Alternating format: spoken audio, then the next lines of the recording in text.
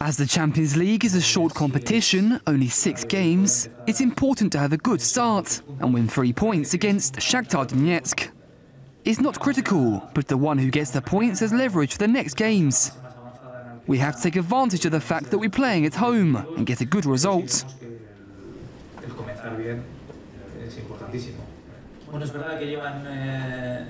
It's true that Shakhtar Donetsk has made a very good start in the Ukrainian league, but they've won the title five years in a row. It's almost the same team that we saw last year.